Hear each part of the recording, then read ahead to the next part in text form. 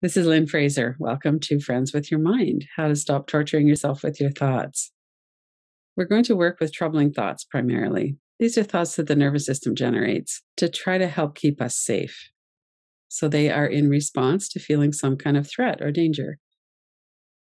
As we understand why we do what we do and what is the origin of a lot of the thoughts in our mind, we're able to intervene earlier and develop healthier habits healthier strategies for surviving.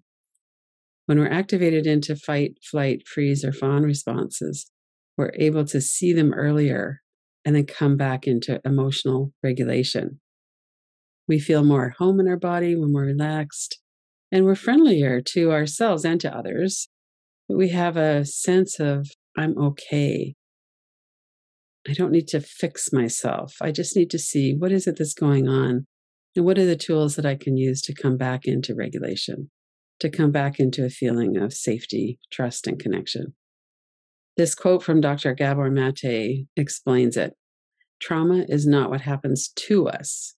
Trauma is what happens inside of us as a result of what happens to us. The effect of trauma is that we disconnect from ourselves, our sense of value, and the present moment children experience a lack of connection as a survival level threat, which makes sense. We need to be included and protected and cared for. We can't do that on our own. We're all experiencing shock or crisis trauma from COVID 19, and many of us are also experiencing other types of trauma. We might have a lot of habits in the mind that come from developmental trauma. We might be facing a situation of illness, death of someone we love. A lot happens in life, and we have a lot to work with the main focus of this workshop is our thoughts. So, where do our thoughts come from?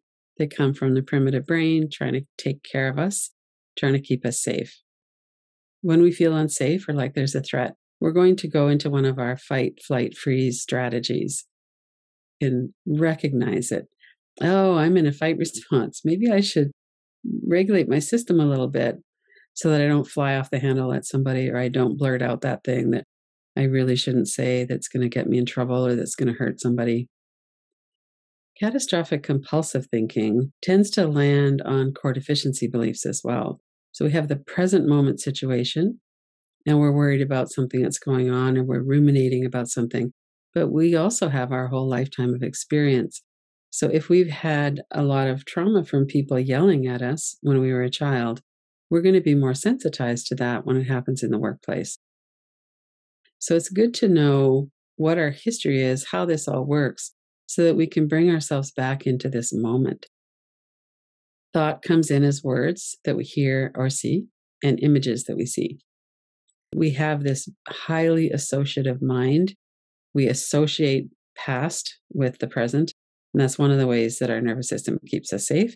It's a good thing. And it also causes us a lot of trouble. What's happening in the body in response to the thoughts? It's not just that we get a train of thought going, it's also that we get sensations, energies, feelings in our body.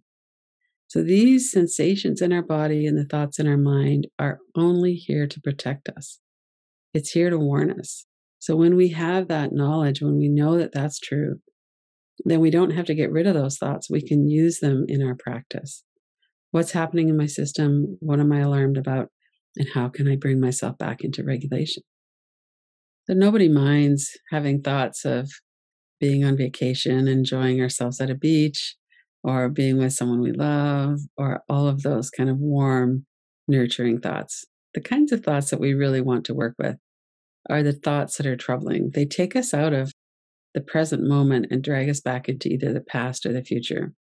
Catastrophic thinking tends to be very compelling. We just kind of fall right into it use these grounding and orienting tools to come back to well, is that just me catastrophizing and doing this worst case scenario thinking? Or is it actually something that I need to work with right now?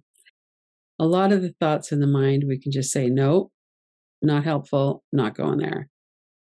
Our past experience of fear has such a grip on us. But in fact, we're not a child, we're not helpless.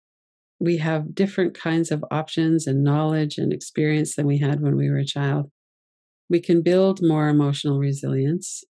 We can keep coming back into the present moment, even right now. you were to hold your own hand and feel the warmth of your hand, feel your feet on the floor, take a few deep breaths. These kinds of troubling thoughts tend to drag us into the past or into the future. We can also stay here in this present moment through this connection with our body, our energy, our breath, our feelings. This is a taste of what we're going to experience in the workshop together. I hope you can join us.